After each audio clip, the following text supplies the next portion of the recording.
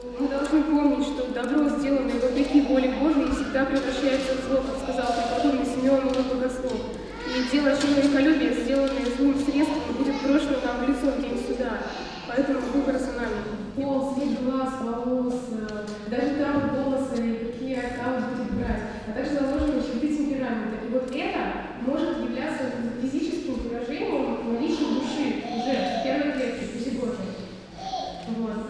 Для православных также э, важно привести свидетельство священного писания. Мы должны также изыскивать способы, чтобы можно было крестить ребенка при внематочной беременности, когда жизнь ребенка не может быть продлена, чтобы врач, который совершает операцию по извлечению, э, крестил его мирским чином или дал бы разрешение присутствовать родственникам